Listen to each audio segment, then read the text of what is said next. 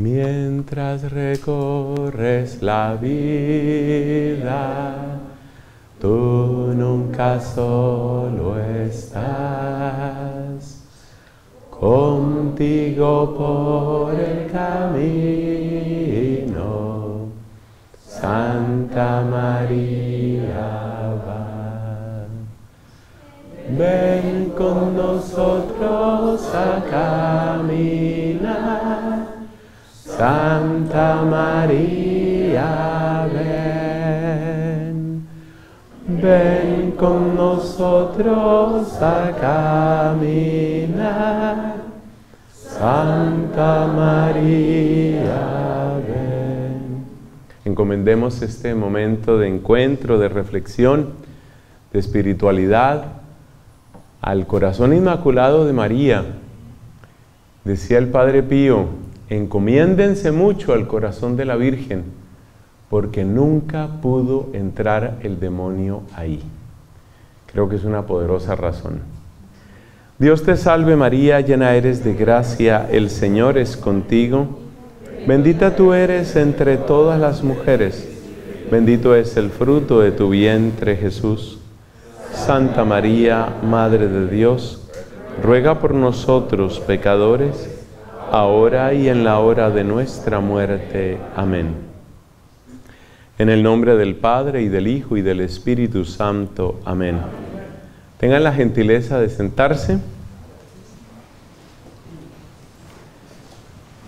Mis amigos, en esta ocasión vamos a hablar con un, de un tema que nos une, creo que nos une a todos, y el título que le hemos puesto es Claves para un liderazgo renovado. Y lo primero que quiero decirte es que si estás aquí es porque tú eres líder. Los papás, las mamás, los docentes, los catequistas, las religiosas, los que dirigen grupos de oración, grupos, comunidades en la parroquia, en las parroquias, son líderes. Sabemos lo que significa la palabra eh, líder en inglés, es el, que, es el que va adelante, es el que va guiando. Y yo creo que todos los que estamos aquí de alguna manera estamos guiando a otros. Somos punto de referencia para otros. Cuando una amiga te consulta si es buena idea tener un aborto, en ese momento te está constituyendo a ti como líder. Ojo con eso. Cualquier persona que te pide un consejo ya te está tratando como líder, porque está tomando en serio tu palabra, está tomando en serio lo que tú digas o lo que tú dejes de decir. Si tú estás en una universidad, si estás en un college, y en esa universidad resulta que hay pocos católicos y tú eres un católico, como seguramente somos todos los que estamos aquí, Tú eres líder, tú eres punto de mirada. La gente te está viendo, tal vez tú no te das cuenta, pero la gente te está viendo. A ver si el católico se emborracha o no se emborracha. Si el católico, si el joven católico es de los que tiene dos y tres novias. Si el joven católico es de los que suelta cualquier palabrota simplemente porque está disgustado. Si el católico es el que hace trampa somos punto de referencia. Es importante descubrir que, ya somos líderes. Hay personas a las que las circunstancias les invitan, casi les obligan o nos obligan a hablar delante de auditorios. Sí, y ahí parece que se ve muy claro que somos líderes, pero tú lo eres. Y si vamos a preguntar quién tiene más influencia, te voy a responder, eso solo Dios lo sabe. En el colegio en el que yo hice mi primaria y mi secundaria, en ese colegio había una profesora muy recordada y muy querida por todos, de nombre Aurora, todo el mundo le decía Aurorita. Cuando yo llegué al colegio en el año 1972, o sea que vaya haciendo sumas, de la edad de este sujeto. Cuando yo llegué en 1972, ya la profesora Aurora estaba dando sus clases con los niños de kinder. Yo terminé mi bachillerato, entré a la universidad, entré a la comunidad, me ordené sacerdote. ¿Sabes qué? Aurora seguía. Entonces hagamos unas cuentas así rápidas. Supongamos que ella tenía, qué sé yo, 25 estudiantes, 25 niños, que eran más, pero pongamos una cifra conservadora. 25 niños en cada año, en cuatro años tenía 100 niños, en 40 años son mil niños.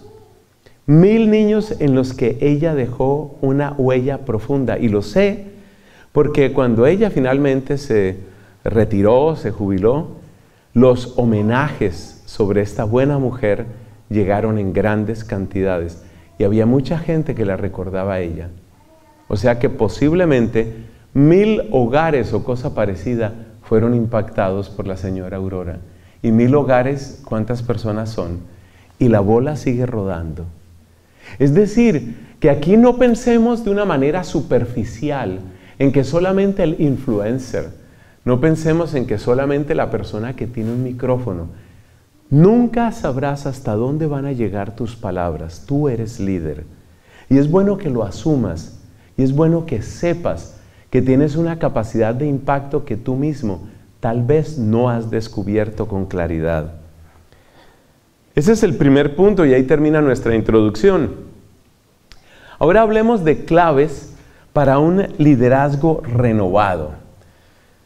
Un liderazgo renovado. Y de aquí en adelante me voy a centrar en lo que significa ser un líder católico. Lo que, quiere, lo que significa, lo que quiere decir ser un líder católico. En eso me voy a centrar de aquí en adelante. ¿Qué llamamos entonces? La pregunta es, ¿qué llamamos un líder católico? Y la respuesta es muy sencilla y es muy bella. Líder católico es el que encarna la fe de la iglesia. Hay una frase que se atribuye a distintos santos y distintas personas.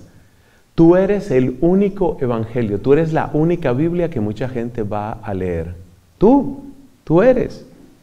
Entonces, un verdadero católico y un verdadero líder católico es aquel que encarna la fe, es el que muestra la fe. La pregunta es, ¿se puede leer en ti esa fe? Ese es el test muy sencillo para saber si somos o no somos realmente líderes católicos. Porque ya dijimos, líderes somos, para bien o para mal.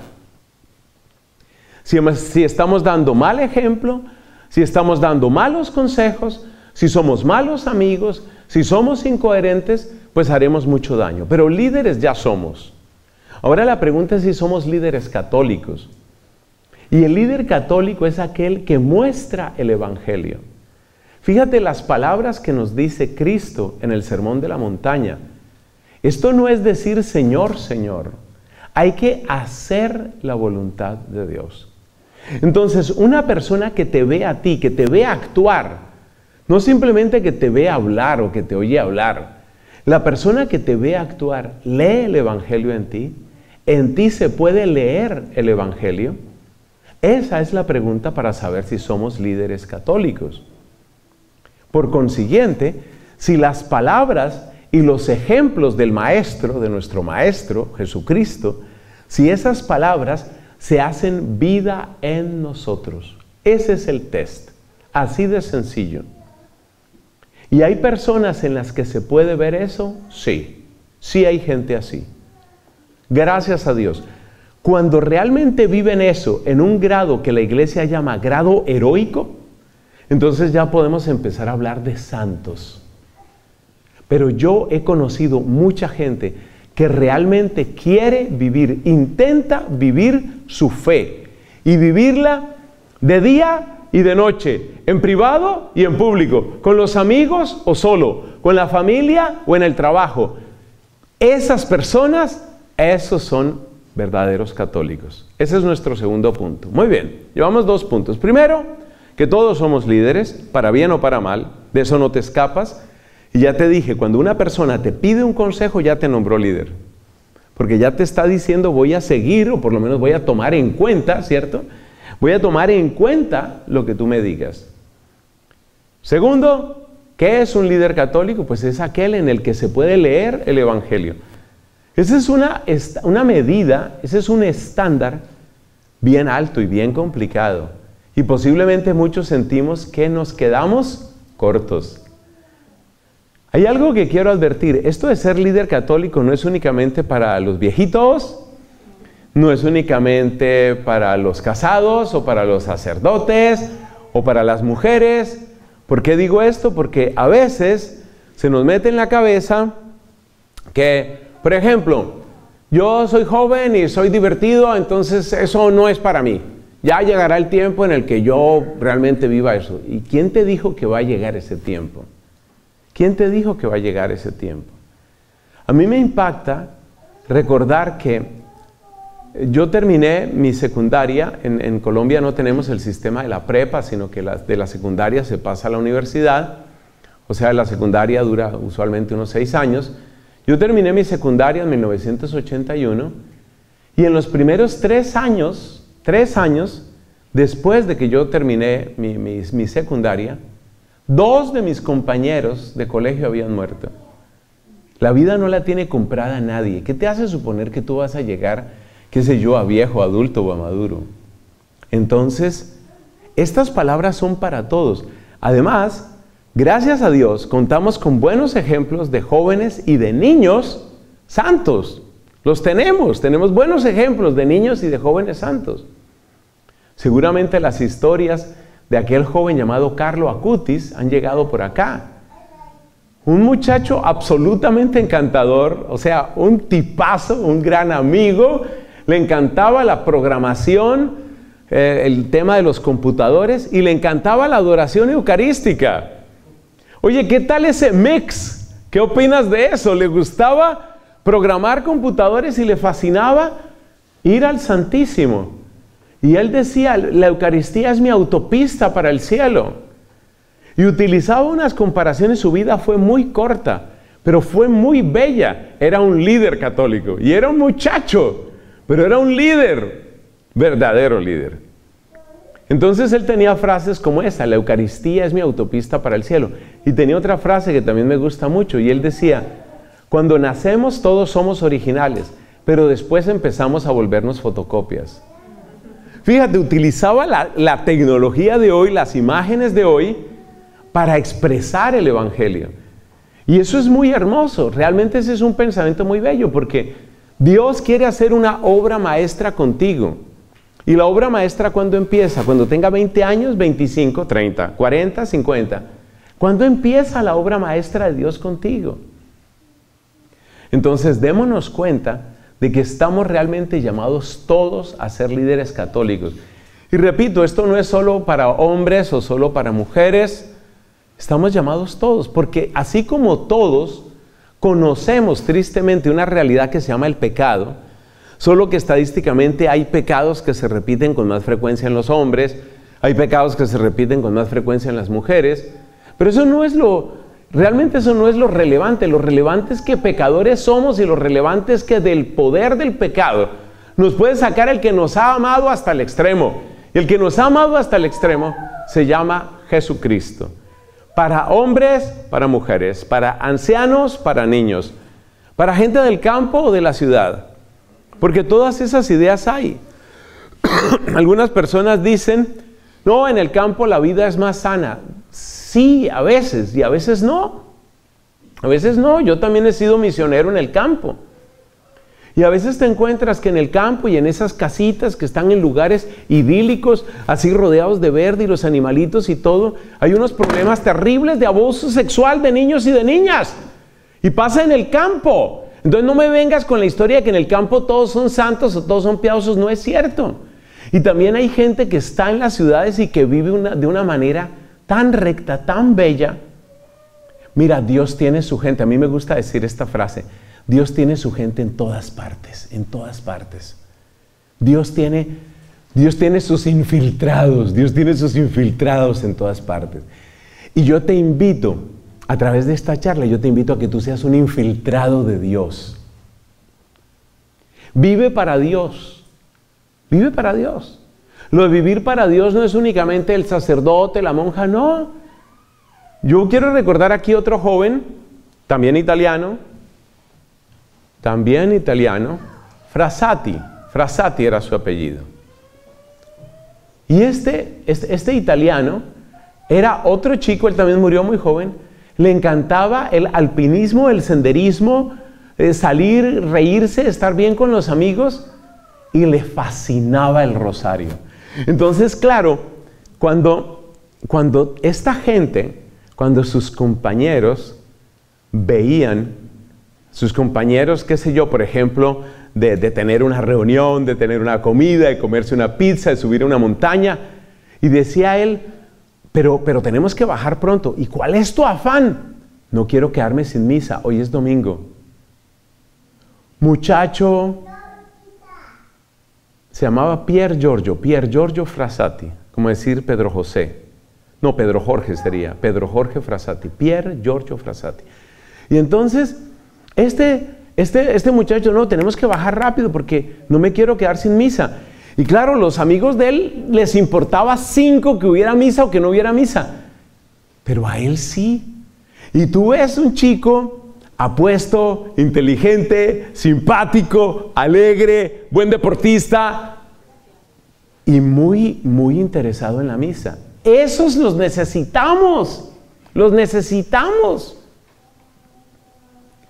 Bueno, entonces, ¿de qué hemos hablado? Pues hemos hablado de la importancia del liderazgo y que todos somos líderes, hemos visto la necesidad de los líderes católicos y en tercer lugar, hemos hablado de que esto es para hombres, mujeres del campo, de la ciudad, ¿cierto? En todas partes. En todas partes. Dios ha sido tan bueno conmigo, me ha permitido ir a muchos lugares, muchos lugares, incluyendo Europa. La gente dice, no, Europa está descristianizada. No digas eso. No digas eso. Pues a ver, sociológicamente, socialmente sí hay mucho impacto. Pero yo he escuchado confesiones en España y me he encontrado con corazones tan llenos de amor, tan fieles a Cristo. Gente increíble, gente increíble. Me acuerdo una chica universitaria, estábamos en una misión allá en España y entonces, bueno, que cuando nos reunimos, que hay que hacer tal planeación, que hay que hacer tal cosa. Y ella decía, lamento, tal día no puedo. ¿Y por qué no puedes? Porque tengo adoración eucarística. Una muchacha, 24, 25 años, tiene su horario de adoración eucarística capillas como esta que hay aquí, de adoración perpetua. Tengo mi adoración eucarística. Y tenía unos turnos absurdos.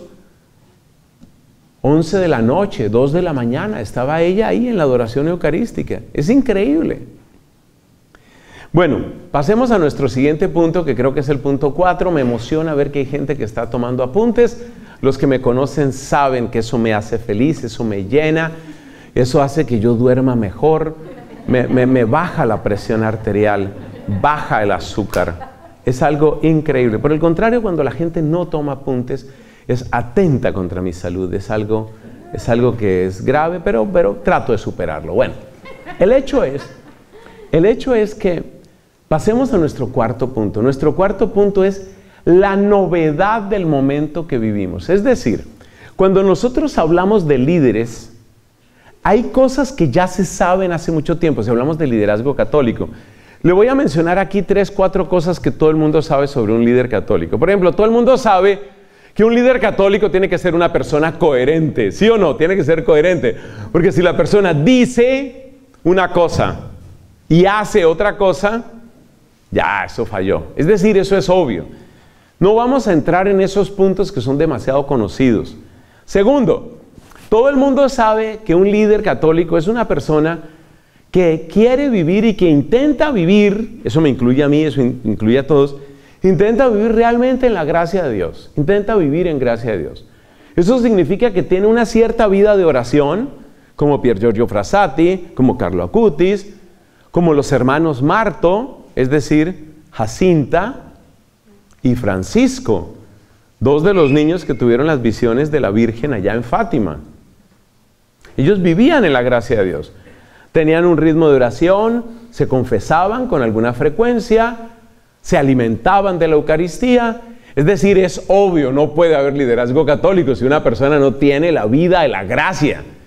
Es decir, en eso no vamos a insistir en esta ocasión porque son cosas bien sabidas. Tercero, todo el mundo sabe que un líder católico necesita una cierta formación, ¿sí o no? Todos lo sabemos. Se necesita una formación. Es decir, esos puntos que son así como muy elementales, esos puntos, pues evidentemente eh, los damos por, firmes, son cimientos, ya los tenemos claros. Pero por si acaso los estamos repitiendo, entonces les repito los tres puntos claves. Necesitamos una persona que es coherente, o para decirlo en orden, una persona que vive en la gracia de Dios, es decir, tiene un ritmo de oración, de sacramentos, probablemente tiene una dirección espiritual o por lo menos en ciertos momentos busca un consejo, busca algo, busca algo. Uno no lo sabe todo. Entonces vive en la gracia de Dios.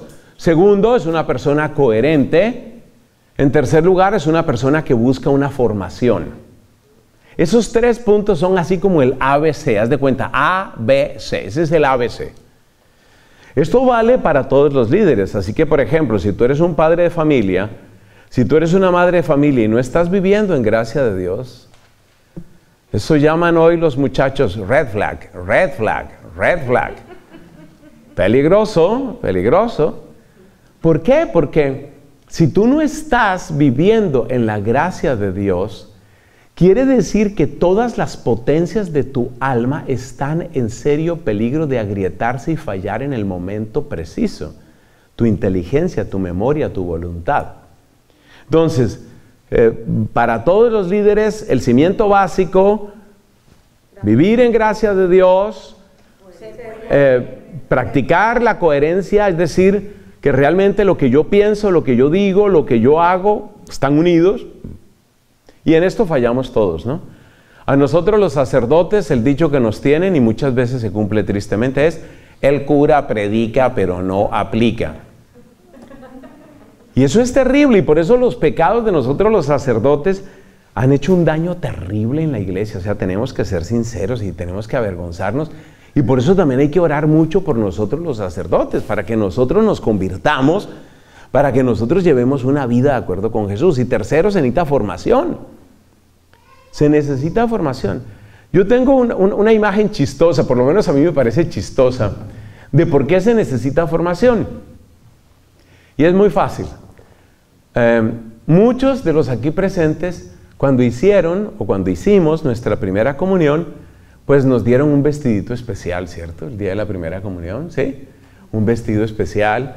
Se acostumbra en muchos lugares, por ejemplo, a las niñas las visten de blanco y a los niños entonces los visten así todos elegantes y les ponen aquí, eso tiene como un emblema y muchas veces van de corbata, van elegantes.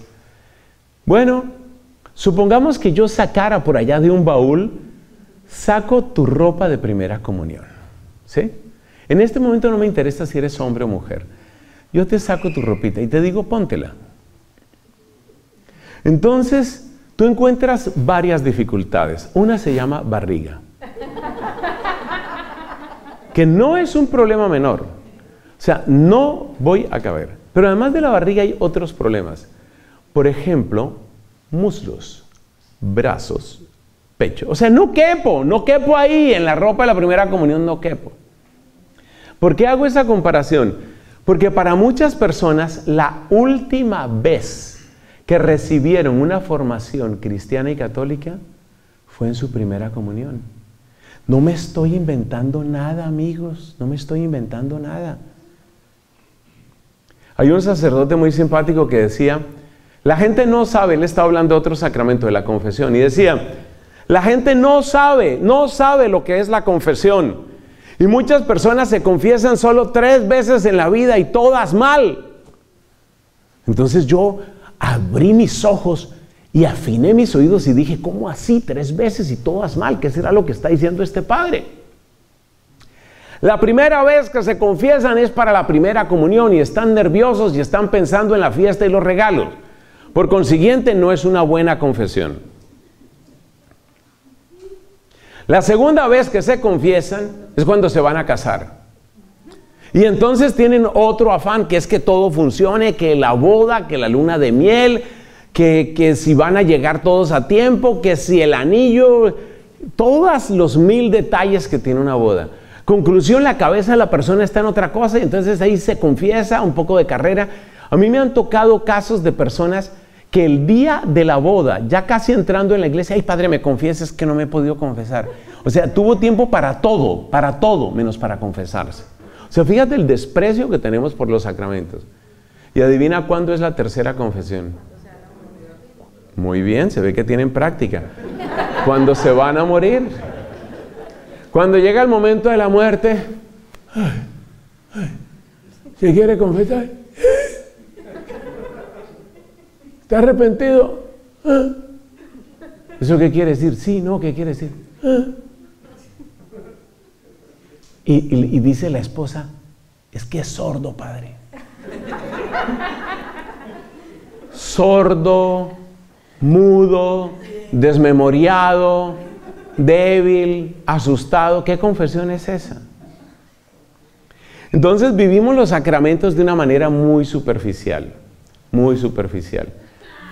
Conclusión, hay que cuidar, hay que cuidar la vida de la gracia, hay que cuidar, ¿qué más dijimos? La coherencia y hay que cuidar la formación. Y en la formación fue que hablamos de esto de la primera comunión, sino que me, acordé del chiste ese de la confesión. ¿Por qué te estoy diciendo lo de la primera comunión? Porque así como tu vestido de primera comunión ya no te queda, no te queda, Así, lo que recibiste en la primera comunión, que seguramente fue muy bueno, pero es muy chiquito. Para los desafíos que hoy tiene el mundo es muy chiquito. Entonces, si tú te vas a enfrentar a los problemas, a los tremendos desafíos que tiene la fe hoy, te vas a enfrentar con la ropa de la primera comunión, no lo vas a lograr. You're not gonna make it. No lo vas a lograr, no la logras, no la logras. Por eso la formación es indispensable. Entonces yo doy por descontados esos puntos, pero ahora vamos a el centro. Aquí llegamos al, al núcleo de nuestra enseñanza, lo nuevo. Damos por descontado lo anterior, ahora vamos con lo nuevo. Son cinco puntos. Son cinco puntos y quiero decirles que nada más pensar en esto me pone, me pone un poquito como se dice la carne de gallina.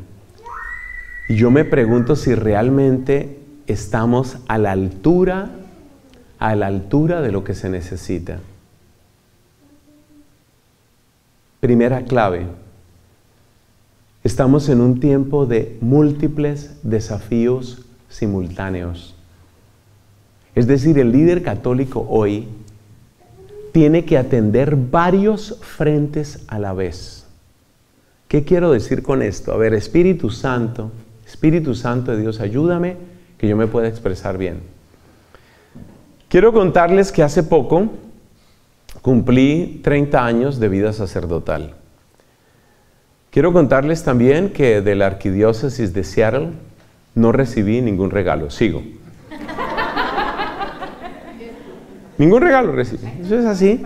Pero yo de todas maneras los quiero mucho, mucho, mucho, entrañablemente. Y, y porque los quiero he abierto un periodo de gracia para los regalos.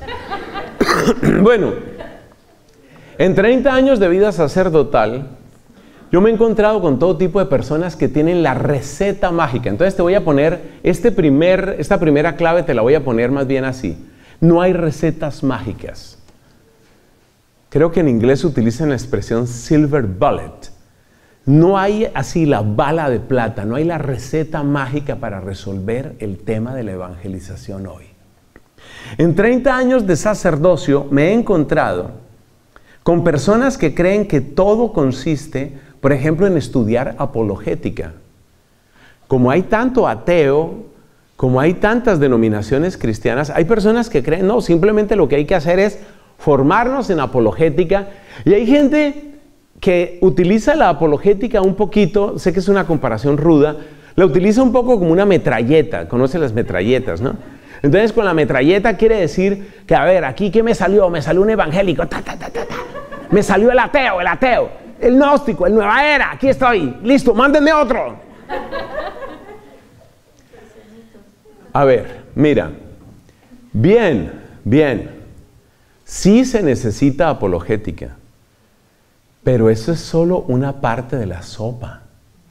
Se necesitan muchas otras cosas. Oye, otras personas creen que la clave, eso ha pasado mucho en Sudamérica.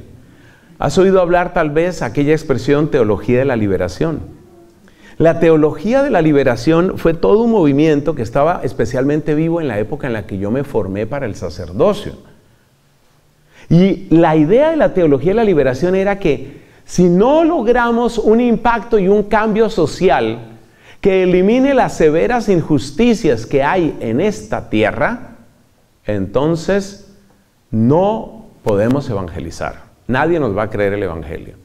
Es decir, para ellos todo estaba en el cambio social, todo estaba en la transformación de las estructuras injustas. Y yo te hago una pregunta, ¿tienen razón? Pues sí.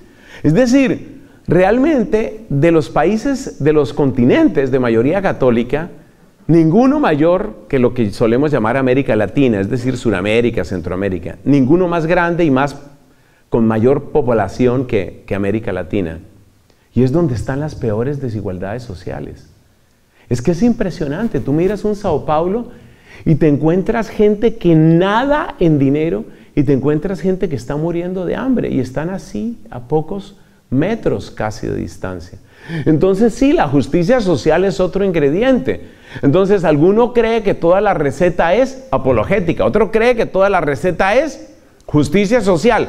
Otros que fueron muy importantes y son muy importantes en mi vida son los amigos de la renovación carismática. Oh, yo le debo muchísimo a la renovación carismática, pero mucho. Y la renovación carismática, entonces insiste la experiencia del Espíritu, que tú te sepas amado por Dios, que tú sepas de la alabanza, que tú conozcas los carismas. ¿Tienen razón? Sí, tienen razón. Si no hay vida en el Espíritu, no hay vida cristiana. Pero ¿es eso todo? Tampoco es todo. Entonces, eso es lo que te quiero decir. El primer punto en estas nuevas claves es acostumbrémonos a que no hay, ¿cómo fue que dijimos? Receta mágica, creo que fue la expresión. No existe receta mágica. Entonces, eso quiere decir que tenemos que estar súper atentos para saber integrar, esto tiene que ver con otro punto que vamos a mencionar más adelante, casi al final, para saber integrar en nuestra fórmula. O sea, tal vez si yo soy una persona a la que me gusta el estudio, algunos de ustedes tienen así cara de ser gente dura para el estudio y les encanta concentrarse y ver la lógica. Y voy a analizar este padre a ver si habla lógico, no habla lógico, porque si no habla lógico me voy. Está bien, te gusta la lógica. Perfecto. Pero la lógica no es todo, la apologética no es todo. La justicia social no es todo, la experiencia del Espíritu no es todo. Además, el Espíritu Santo es tan fecundo en la iglesia que continuamente van saliendo nuevos movimientos. Entonces, por ejemplo, hay unos retiros que son muy famosos, yo me imagino que ya existen aquí, que son los retiros de Maús. ¿Existe de eso por aquí, los retiros de Maús? ¿Han oído hablar de retiros de Maús? Bueno, algunos sí, otros no. En, muchos lugares los retiros de Maús están haciendo maravillas. Son retiros como de conversión yo hice un retiro de Maús, me gustó bastante, por supuesto no es perfecto porque no hay ninguna receta mágica. Entonces, un desafío claro que tenemos hoy, un desafío muy importante que tenemos hoy, es que necesitamos que no, aprender que no hay recetas mágicas y que por consiguiente yo tengo que completar mi propia experiencia. Si yo vengo del mundo de la renovación carismática, magnífico. Experiencia del Espíritu. He visto milagros y yo los he visto. He visto sanaciones, yo las he visto. Yo he visto sanaciones, yo he visto una persona sanarse ante mis ojos. Siempre cuento esa historia, pero hoy no la voy a contar. ¿Para qué? Para invitarlos a que visiten mi canal que se llama YouTube. En YouTube mi canal se llama Fray Nelson, entonces visiten el canal y ahí encontraron. Bueno, el hecho es, el hecho es que yo he contado muchas veces, yo he visto milagros. Yo he visto milagros, es así, es una cosa maravillosa. Pero no todo lo vas a resolver con milagros. El problema de la injusticia crónica y estructural en América Latina no lo vas a resolver simplemente pasando por delante los edificios y diciendo, demonio, sal de este edificio. Y quizás sale mucha gente, pero no sé si salga el demonio. Entonces lo primero que debe tener en cuenta el líder hoy es que necesitamos, te lo voy a decir la misma cosa pero con otras palabras, necesitamos liderazgo integral. Es lo mismo que decir, no hay receta mágica, es lo mismo que decir, los desafíos son múltiples. Entonces hay que estar atentos porque no hay una fórmula que sea perfecta. No existe la fórmula perfecta. Y cada uno de nosotros seguramente ha llegado a la fe o a, una, a un nivel más consciente de la fe desde distintas orillas y desde distintas experiencias. Complementa lo que tú hayas recibido, complementalo. Vienes de retiros de Maús, fantástico. Vienes de la Legión de María, maravilloso. Vienes de la adoración eucarística, estoy contigo. Vienes del camino neocatecumenal, aleluya, y que viva la palabra de Dios, porque Cristo ha resucitado y vive. Pero de donde tú vengas, acuérdate, no existe la fórmula, la receta mágica, y por consiguiente necesitamos ser líderes integrales. Punto importante. Vamos con la segunda clave, son cinco. La segunda clave que también es un desafío. Cada una de estas claves es en el fondo un desafío. La segunda clave es, necesitamos una estrategia para abordar la tolerancia y la pluralidad. Y esto es más complicado y vuelvo a pedir en voz alta, Espíritu Santo, ayúdame, ilumíname. Repito, segundo punto, necesitamos una estrategia para abordar la tolerancia y la pluralidad. Trato de explicarme por qué esto es tan complejo en nuestra época. En la época de nuestros padres, en la época de nuestros abuelos, no era tan difícil, pero cada vez es más difícil. En todo sentido es más difícil. Les voy a contar el proceso que han vivido muchos inmigrantes. Estaban en su país, que puede ser Guatemala, México, Bolivia, Ecuador, Colombia, estaban en su país. En el país típicamente, eh, en aquella época, estoy hablando 40, 50, 60 años atrás, en su país típicamente lo que había era religión católica, era lo que había. Tal vez había un pequeño grupo por allá de evangélicos, eh, un grupo de evangélicos, ah, está bien, que vivan y dejen vivir y ya está. Pero el 90% más era católico y el día de la procesión, por ejemplo, con la Virgen, el día de la procesión con el Santísimo, todo el pueblo se volcaba. Bien, resulta que la familia, por la razón que sea, seguramente buscando un mejor horizonte, vino a este país. Entonces, tú vas a tu escuela de inglés o tus hijos van a la escuela, al colegio, y la cosa cambia radicalmente. De repente resulta que un momento, este no es católico, no es católico, no es católico y tampoco es católico. En muchas circunstancias, el católico se encuentra con que ya no es mayoría. Oh, este es distinto. ¿Y tú qué eres? Yo soy budista, mi familia es budista. Ok. ¿Y tú? Soy judío. Mi familia se estableció aquí hace 60 años y somos judíos. Ajá, eres judío. ¿Y tú? Mi papá ama la ciencia, trabaja en Boeing y nunca nos bautizó y no nos ha hecho falta. Nosotros no creemos en nada. Creemos que si estudiamos y trabajamos duro habrá progreso, pero nosotros nunca rezamos. Ah, entonces, ese es un nivel de pluralismo y es un nivel complejo que muchos no nos esperábamos o no esperábamos que fuera tan fuerte. Pero ese es apenas el primer nivel del desafío. Luego viene el segundo nivel del desafío, que es el que están afrontando la mayor parte de los adolescentes y jóvenes ahora. Ustedes saben lo que está el tema, por ejemplo, de cannabis o de marihuana que llamábamos, ¿no? Entonces, resulta que, bueno, yo tengo 18 años o tengo 16 años, pongámoslo en esa edad, no, tengo 16 años. A los 16 años hay muchas cosas que se supone que no puedo hacer. Por ejemplo, no puedo comprar licor legalmente, no puedo comprar licor, licor, pero sí puedo utilizar marihuana recreativa, según las leyes, pues, según las leyes. Entonces puedo utilizar marihuana recreativa. Digamos que a mí no me interesa la marihuana recreativa, pero resulta que mi mejor amigo está utilizando marihuana mm, seis o siete días a la semana y es mi mejor amigo. Y cuando yo voy a su casa, su habitación huele tremendamente a marihuana. De hecho, toda la casa huele a marihuana.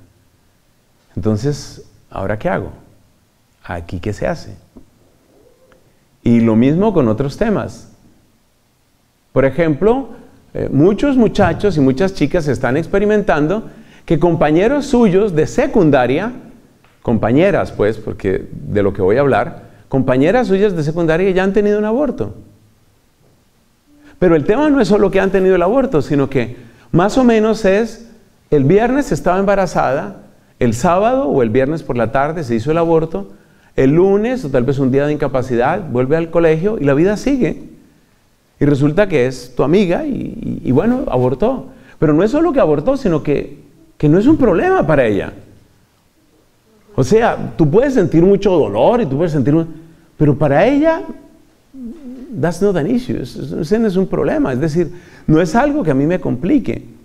Ese es el tema de la tolerancia. Y, por supuesto, ya sabes de qué otras cosas podríamos hablar. Podríamos hablar de los temas de género y todo eso, ¿no? Muchos jóvenes y muchas chicas a los 14 años ya han tenido que resolver estos problemas, este tipo de problemas. Mis amigos me están invitando a ver pornografía. Otros amigos me están invitando a que pruebe marihuana. Tengo dos amigas que son lesbianas y que quieren ser mi novia. Y ya lo están enfrentando, o sea, a los 14, 15 años. No estamos hablando de adultas, de mujeres adultas, mujeres formadas, son chicas de 14 y 15 años que están afrontando ese tipo de decisiones. Entonces, ¿cómo se resuelve eso? ¿Cómo se puede ser líder en esas circunstancias? Esa es la gran pregunta. O sea, ¿cómo lideras tú la vida de un chico o de una chica ahí? Y normalmente lo que está sucediendo es que los padres de familia y a veces también los sacerdotes o a veces también catequistas están tomando un poquito posiciones que podemos llamar extremas. ¿Cuáles son las posiciones extremas? Algunos toman una posición eh, como de negación, o sea, yo no me meto con eso, yo no me meto con eso, o sea, no sé, de alguna manera mi hijo estará resolviendo eso, mi hija estará resolviendo eso, pero yo no hablo de esos temas. Algunos llaman a eso la, estrategia del avestruz, ¿cierto? Porque la mitología popular dice que el avestruz cuando se siente amenazada y no tiene para dónde eh, coger, entonces abre un hueco y mete la cabeza en la tierra, como quien dice no me entero y aquí no está pasando nada. Pero la verdad es que tu hija tiene que resolver ese tipo de casos. especialmente la costa oeste de los Estados Unidos, es muy complicada, de arriba abajo. Eso lo saben ustedes más que yo. Yo he hecho muchas misiones aquí en, el estado de Washington, he estado pocas veces, pero, pero pues he pasado por Oregon, he estado en California muchas veces.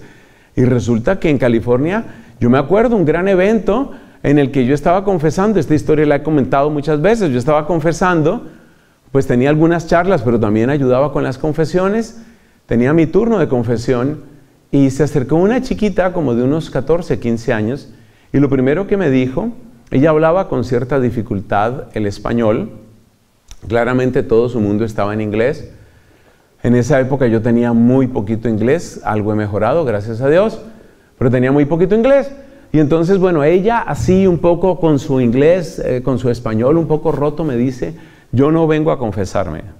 Fue lo primero que me dijo, no vengo a confesarme quiero pedirle un consejo. Usted es sacerdote, ¿verdad? Le dije, sí, soy sacerdote, quiero pedirle un consejo. ¿Y qué, qué consejo quieres pedir, padre? Lo que pasa es que yo me siento rara. Yo creo que yo soy rara. Pues uno ha aprendido como sacerdote que hay que tomar con el máximo respeto y con máxima escucha a cualquier persona, especialmente un menor de edad. Entonces, pues le pregunto con todo respeto por qué dice eso. Y me dice ella, es que yo me siento muy rara porque yo tengo un grupo de amigas en el colegio y, todas mis amigas ya han tenido novia y, yo no he tenido novia. Y yo me siento rara porque yo soy la única que, que no tiene novia y yo no quiero tener novia. Entonces yo soy rara. O sea, tú te imaginas lo que está viviendo esa mujer. A sus 14, 15 años de edad, yo me siento rara. Entonces, ¿cómo ser líderes? Hay, hay unos que toman la actitud del avestruz, es decir, yo no me meto con eso. Hay otros que toman una actitud así como de condena, pues todo el mundo está podrido, todo está mal, eh, todos se van a ir al infierno. Bueno, esa es otra actitud. Y hay otros que toman una actitud que más o menos es seguir el flow. Seguir el flow. Entonces, pues eso es así, pues es así. Y cada vez más, ustedes saben que por bondad de Dios he tenido oportunidad de venir muchas veces para prestar servicio misionero. Y yo me doy cuenta cómo va pasando el tiempo y me doy cuenta cómo cada vez más los papás y las mamás están entregando las armas y están diciendo, no hay nada que podamos hacer, entonces simplemente dejamos así. Yo me acuerdo un, colombiano que me caía muy bien, o me cae muy bien, solo que no, no volví a, verlo en redes. Él hacía una serie de programas no sobre este país, sino sobre Canadá. Y él contaba sobre cómo era la vida de un inmigrante en Canadá. Lo de ideología de género, por ejemplo, está mucho más serio en Canadá que aquí. Y aquí está serio. Pero lo de Canadá es tenaz. Y entonces comentaba este hombre, él decía, muy, muy honesto me pareció, él le decía a la gente, mire, yo quiero contarles que en Canadá reina la ideología de género, yo quiero decirles eso. Si ustedes quieren venir aquí, aquí hay que trabajar duro, pero aquí se puede tener un futuro y las cosas funcionan y las cosas se logran. Pero él hacía también advertencias, advertencias muy concretas. En tal ciudad te va a pasar esto, en tal lugar te va a pasar esto, aquí la religión funciona de tal manera. Eh, él hablaba con mucha claridad, todo lo decía con mucha claridad. Y él decía eso. Entonces, él, un colombiano, es un ejemplo de una persona que dijo, mira, yo no voy a batallar contra eso, ¿sí? Yo no voy a batallar. Eso es como batallar, qué sé yo, contra un tornado, contra un huracán. Yo no voy a pelear con un huracán. Ya llegó el huracán y que haga lo que quiera. Este es un desafío muy grande de liderazgo. Y es un desafío que exige todo, todo. ¿Todo qué significa? Tu oración, tu formación, tu compasión, tu capacidad de diálogo, tu humildad. Todo, todo lo exige de ti. Mucha, mucha prudencia, mucho, mucho amor, pero muchísimo. Y al mismo tiempo saber, saber que, que no todo lo lograremos en el momento en el que queremos y de la forma que nosotros queremos. Entonces un líder tiene que tener, en esto de la tolerancia, tiene que tener por lo menos tres puntos para quienes están tomando sus apuntes. Los demás supongo yo que tienen una memoria portentosa. Entonces, tres puntos para tener en cuenta en esto de la tolerancia y de la pluralidad. Primero, no podemos obsesionarnos con el mal que hay en el mundo. Hay que saber que el mal existe cosas con las que no estamos de acuerdo, cosas que son incompatibles con nuestra fe, pero no podemos volver al mal o lo malo que hay en el mundo, no lo podemos volver el centro único de nuestra predicación o de nuestras conversaciones, porque es una cosa que está sucediendo. Entonces me he encontrado con algunos predicadores laicos que cada vez que agarran un micrófono es para decir, ¿se acuerdan hermanos que les dije la semana pasada que el mundo estaba muy mal? ¿Se acuerdan? Quiero ahora decirles que está peor. Pero no se pierdan mi próximo programa porque va a estar mucho, mucho peor la semana entrante. Y después de eso vendrá lo realmente duro. Un poco después y todo explotará y será muy terrible. Entonces, claro, si tú empiezas a hablarle todo el tiempo a tus hijos de esa manera, o si tú empiezas a predicar todo el tiempo de esa manera, lo único que logras es que llega un momento en el que fastidiados, paralizados, agobiados, pues se vuelven sordos. Y dicen, no, ya no más, ya no digo más. Porque en el fondo lo que tú les estás diciendo, cuando solamente hablas de ese tema, lo que les estás diciendo es, no hay futuro. Eso es lo que les estás diciendo. Entonces, cuidado con obsesionarnos con estos temas. Y por consiguiente, en, tónica positiva, en tono positivo, la primera recomendación con respecto a la tolerancia es que de tu boca salga, óyeme esto, que de tu boca salga la advertencia sobre el mal, pero también el elogio y el entusiasmo por lo bueno. El elogio y el entusiasmo por lo bueno, eso tiene que salir oír a un sacerdote que lo único que tiene que decir son cosas terribles, pues hay personas obsesivas que además les gusta oír a otras personas obsesivas. Entonces hay gente que, que dice, bueno, yo estaba oyendo este canal, pero, pero no sé, ya se puso muy suave, necesito otro más duro. Sí, como esa gente que, que, empieza tomando un licor y que después dice, no, necesito algo más duro. Por cierto, esto es agua, ¿no? Que nadie se Entonces la primera recomendación es esa, una visión equilibrada, pase lo que pase. Que este es un país que tiene desafíos sociales y morales muy serios, no lo dudo, no lo dudo. Pero que este es un país grande y que este es un país con grandes oportunidades, no lo dudes. Y no solo no lo dudes, dilo, dilo. Y como dice una canción carismática en otro contexto, que se te note. Dilo y que se te note. Que se te note que existe esa convicción, que la oportunidad existe, que, el bien existe, que las cosas se pueden hacer. Como quien dice, no te concentres solo en lo malo. Segundo, es necesario, es necesario conocer el origen de los movimientos. Ustedes no me van a creer y por favor no tomen esto como vanidad mía. Pero de los primeros predicadores, y están los videos que lo constatan, y están las grabaciones de audio, de los primeros predicadores que empezó a hablar de los peligros de la nueva era, es este servidor de ustedes. Yo tengo fácilmente 25, 28 años de estar hablando de esto cuando nadie hablaba de nueva era.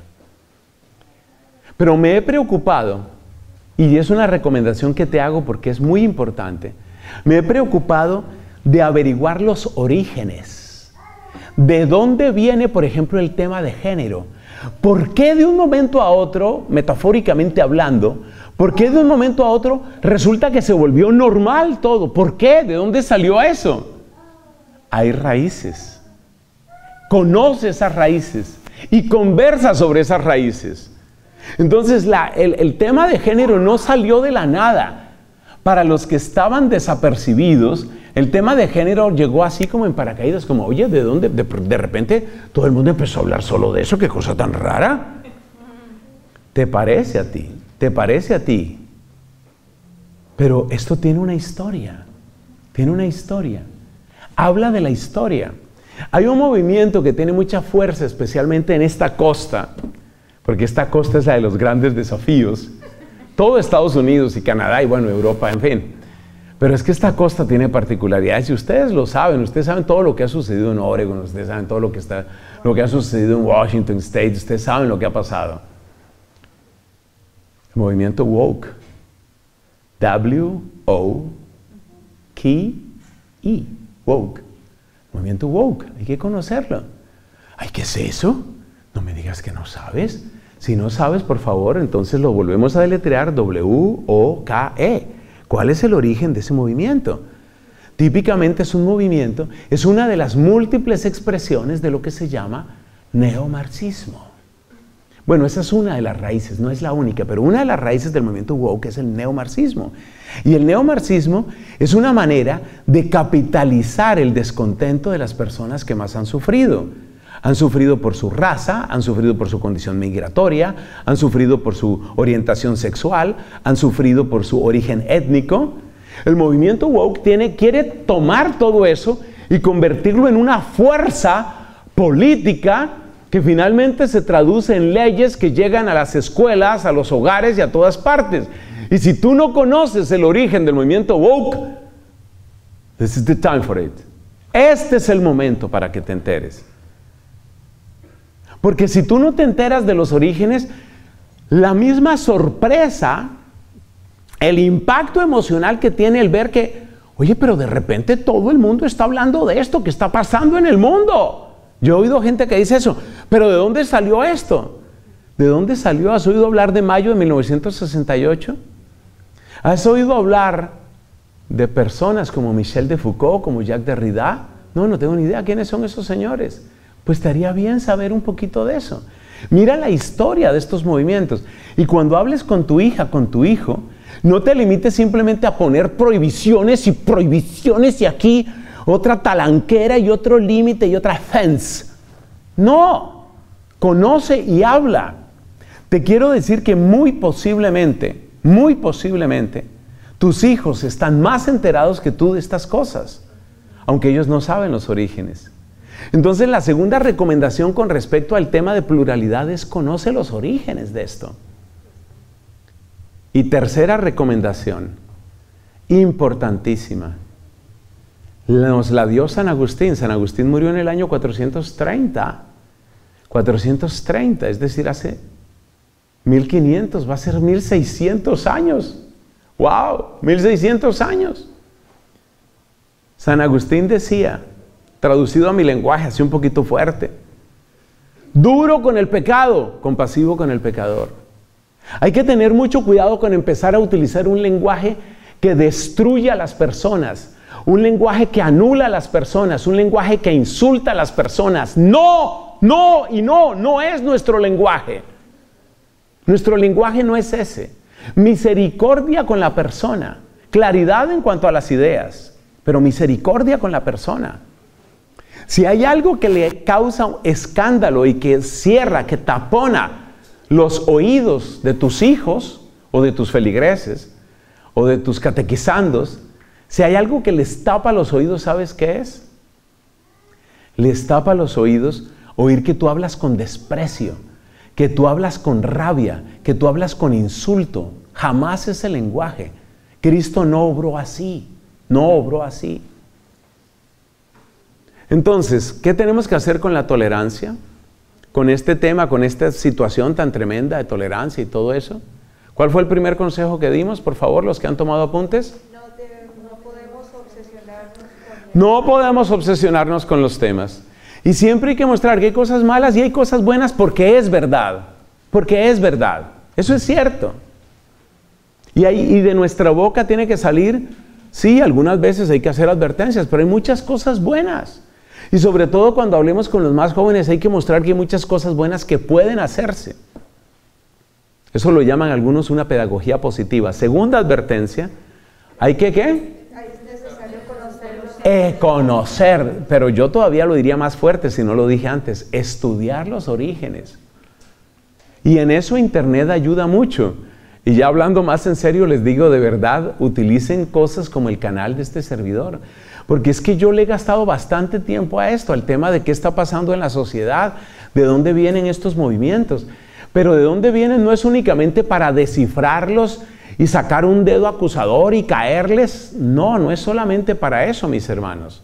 ¿Sabes para qué es también? Para entender cuál era la necesidad no satisfecha, cuál era la injusticia que se estaba cometiendo con el indígena, con el migrante, con el de raza negra. ¿Qué injusticia se estaba cometiendo? Es que es lamentable que a veces tienen que suceder crímenes para que salgan a luz las cosas. Hace un par de años o cosa parecida, se cometió un crimen contra una chica eh, de origen asiático. Esto fue en la Florida. Sí, es verdad que ella estaba así como en un negocio un poquito extraño, dice uno, ¿no? Una de estos negocios de masajes y ponle tal vez comillas a los, masajes. Pero sea lo que sea, es una persona y fue asesinada, y fue asesinada de una manera cruel. Cuando pasó eso, empezaron a salir cifras de todos los elementos de discriminación y de insulto y de desprecio hacia muchas personas asiáticas en, en muchas partes, concretamente de Estados Unidos. Y yo les digo, yo creo que algo conozco de este país. Yo no me había dado cuenta de eso. ¿Ves? Entonces, cuando hablamos de conocer el origen, no es únicamente conocer el origen para ver cómo lo refuto, para ver cómo lo hundo. Es conocer el origen para entender por qué hay tanta rabia en tanta gente. ¿Por qué hay tanto dolor en tanta gente? Y de ahí pasar al tercer punto importante de la tolerancia, Duro con el pecado, compasivo con el pecador. Si tú ves que hay pecado en una persona, recuerda que esa persona es amada, amada hasta el extremo por Jesús. Amada hasta el extremo. Jesús lo ama, Jesús la ama hasta el extremo. Sea como sea esa persona, Jesús la ama hasta el extremo. Eso no significa que tengamos que estar de acuerdo con todo. Bueno, esas son algunas claves. Yo creo que nos damos cuenta que no es fácil ser líder hoy. No es nada fácil, pero, pero es, es emocionante. Si lo piensas bien, pues también es emocionante. Además, el mundo donde vivieron los apóstoles como era, era un mundo así complicadísimo, era un mundo complicadísimo. Cuando Pablo llegó a la ciudad de Corinto, ¿cómo sería la fama que tenía la ciudad de Corinto? Esta es una historia muy conocida. Que decirle a una mujer corintia era como decirle eres una cualquiera. Esa era la fama que tenía Corinto. ¿Y has oído hablar de la primera carta del apóstol San Pablo a los Corintios? Segunda carta de San Pablo a los Corintios. En Corinto, en esa ciudad de pésima fama, de libertinaje y de todo lo que tú quieras, ahí se fundó una comunidad cristiana. Pasemos a la tercera clave. La primera clave era necesitamos liderazgo integral, la segunda clave la tolerancia y la pluralidad. Las otras claves son un poco más cortas para que no te afanes, para que no sufras interiormente. Si estás padeciendo en tu existencia, entonces te cuento que es un poco más breve. Tercera, necesitamos dar el paso a la evangelización por procesos. ¿Qué queremos decir evangelización por procesos? Pues un poquito lo que antes mencioné, ¿no? Muchos de nosotros, los del siglo pasado, muchos de nosotros conocimos la fe como por oleadas. Llegó la oleada de la primera comunión. Llegó la oleada de la confirmación. Llegó la oleada del grupo juvenil o de lo que sea o del matrimonio. Hay que pensar hoy la evangelización por procesos. Por procesos es ¿Qué tal que tú comieras por oleadas?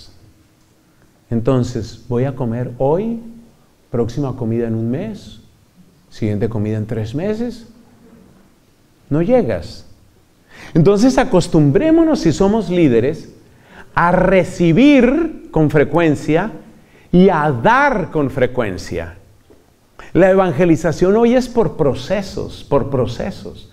Nosotros no podemos quedarnos únicamente con andanadas, con oleadas. No funciona, no funciona.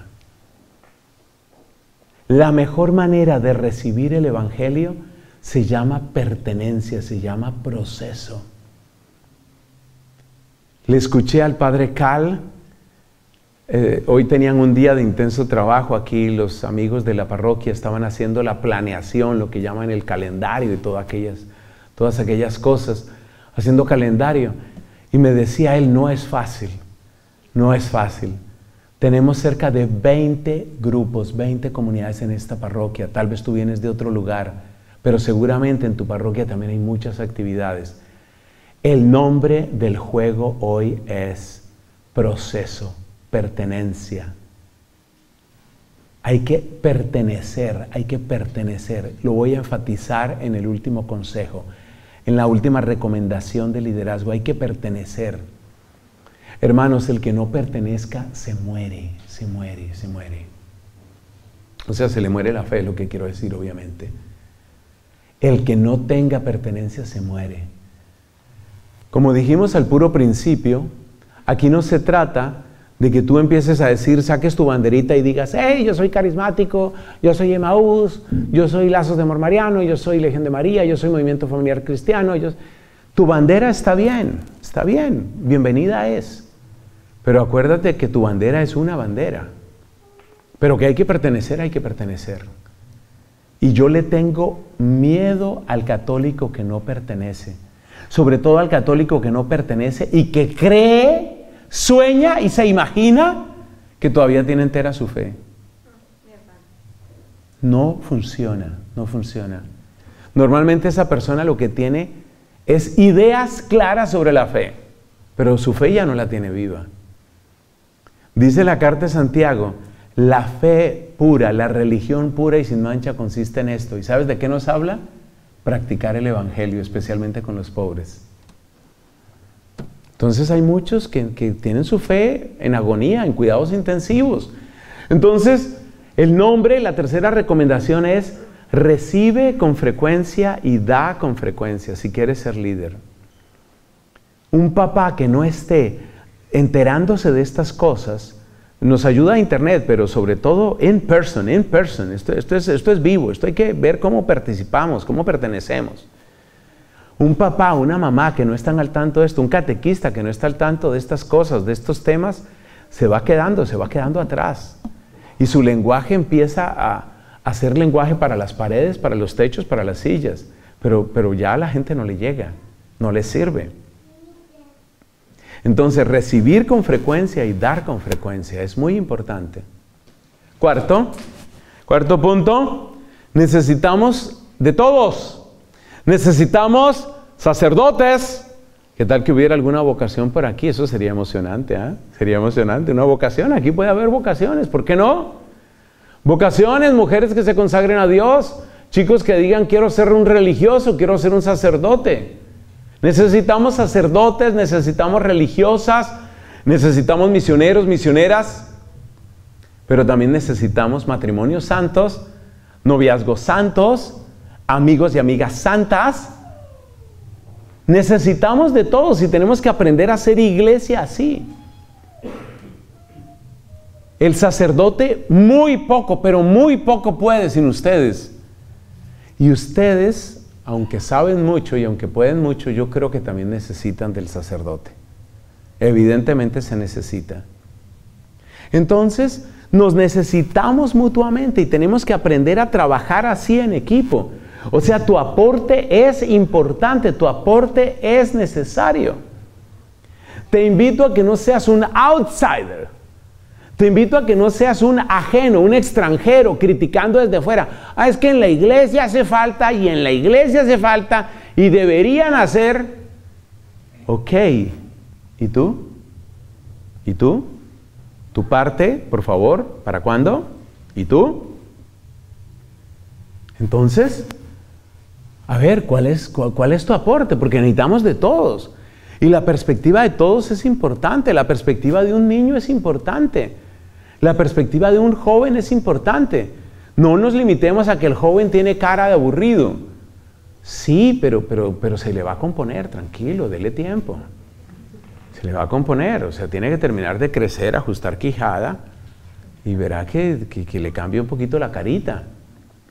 Entonces no nos quedemos simplemente criticando, no, es que los mayores son muy amargados, los jóvenes son muy superficiales, los viejos están para morirse y los curas no saben nada. No, hombre, Sumemos, sumemos. Hoy, hoy tenemos que ser líderes que sumamos. Y esto incluye la manera de tratarnos unos grupos a otros. Yo alcancé a conocer, eso ha bajado mucho, gloria a Dios, pero yo alcancé a conocer situaciones de grupos compitiendo con otros grupos. No, no, no, tenemos que sumar. Y si hay un evento que se está organizando, vamos a ver cómo apoyamos. Y me he llevado unas experiencias muy bonitas. Antes de venir aquí, estuve en, en, Michigan, en la región de Pontiac. Allá en Michigan, el encuentro lo organizaba el Movimiento Familiar Cristiano. Pero ¿sabe qué me encantó? Pues fue un encuentro bello, bello, ¿para qué? Y había niños, y había jóvenes, había matrimonios, por supuesto. Pero ¿sabe qué me encantó? Otros grupos colaborando. Ahí hay un grupo que llaman unos guadalupanos ayudando. Adoración perpetua, ayudando. Renovación carismática, ayudando. ¿Era un encuentro de la renovación carismática? No, era un encuentro del movimiento familiar cristiano, pero ahí estaban. Yo puedo sumar, yo puedo sumar. Y como decía una vez un conferencista, si aprendemos a sumar, pronto aprenderemos a multiplicar. Uy, está chévere, ¿sí o no? Si aprendemos a sumar, empezamos después a multiplicar. Sumemos y verá que multiplicamos. Sumemos y verá que los esfuerzos empiezan a crecer y empiezan a multiplicarse. Última recomendación. ¿A dónde apunta todo esto, mis hermanos? Apunta algo maravilloso de lo que habló proféticamente el Papa hoy canonizado, San Pablo VI. Necesitamos una atmósfera, necesitamos un ambiente, necesitamos una civilización. El pez más hermoso que te imagines puede ser uno de esos goldfish que a todos nos gustan o a muchos nos gustan. Tienen unos colores, hay unos con unos colores que son así como del otro mundo. Mira, el goldfish más bello, lo sacas del agua, sobrevive unos pocos segundos. Tu agua para vivir se llama tu comunidad, tu ambiente. Sí, hay que salir, el Papa nos dice, Papa Francisco nos dice, hay que salir, ok, pero no puedes vivir afuera tampoco. No puedes vivir afuera, no puedes estar todo el tiempo simplemente dando y dando. Necesitas tener dónde recibir, dónde resguardarte, dónde aclarar tus dudas, dónde reposar, dónde descansar. En ese sentido, los dominicos del siglo XVII nos dieron una gran lección.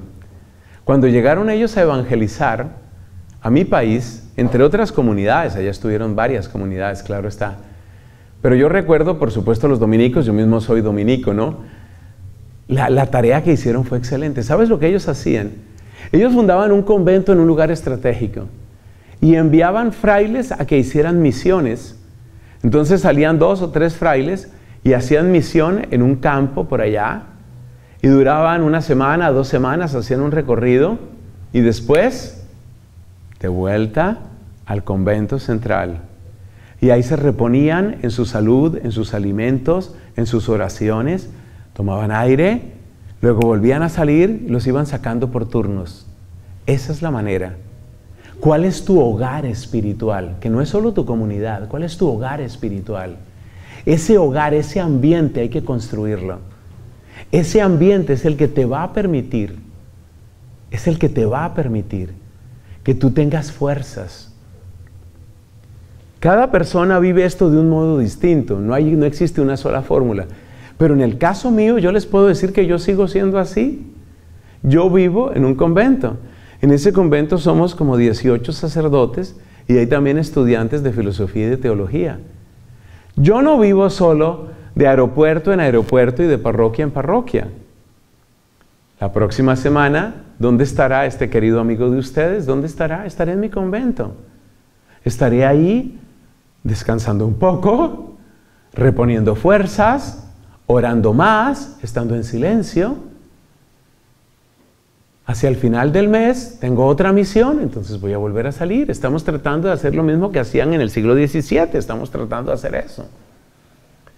Como quien dice, no juguemos a ser Superman, tú también te cansas, tú también necesitas tu ambiente, tú también necesitas tu, tu atmósfera, que tiene que empezar por ser que tu hogar, tu comunidad, tu parroquia, Muévete en ese entorno, gente que piensa parecido a ti. Claro, hay que salir, ya lo dije, hay que salir, pero hay que salir y hay que volver. Para tener siempre la alegría, para tener siempre la lozanía, para tener siempre cómo contarle al mundo que el Señor está vivo. Gloria al Padre, al Hijo y al Espíritu Santo